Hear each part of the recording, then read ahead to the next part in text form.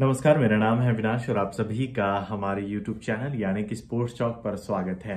आ, पाकिस्तान की टीम जो है जुलाई में श्रीलंका जाएगी जहाँ पे दो मैचों की टी टेस्ट सीरीज़ जो है उन्हें खेलनी है। तो इस टीम, इस दौरे के लिए टीम का भी ऐलान हो चुका है और इस समय रावलपिंडी में जो है, अब पूरी की पूरी टीम ठहरी हुई है और वहाँ पे जो है इंट्रा स्क्वाड मुकाबला खेला जा रहा है। इंट्रा स्क्वाड का मतलब होता है कि अपने में ही बांट के खेलना।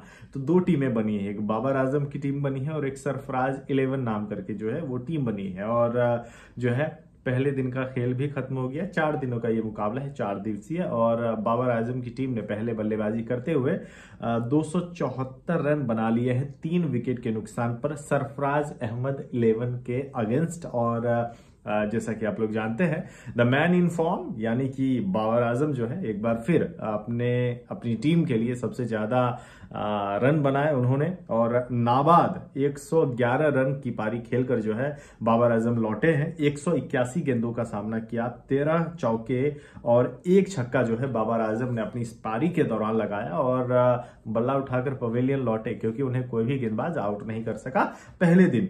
और इसके अलावा फवाद आलम जो है वो भी बाबर आज़म के ही साथ थे।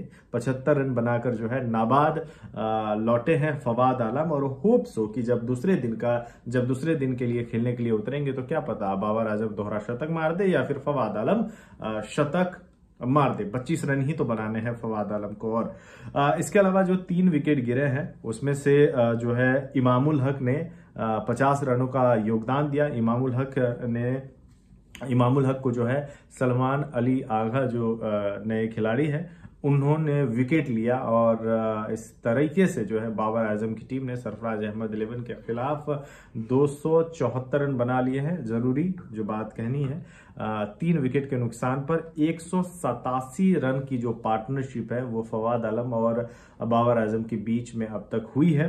वहीं पे सरफराज अहमद इलेवन की तरफ़ से शाहिन शाह अफरीदी, यासिर शाह और सलमान अली आघा को एक एक विकेट मिला है। इस खबर में बस इतना ही। तमाम अपडेट्स के लिए बने रहिए कहा? तो स्पोर्ट्स चौक के साथ। धन्यवाद।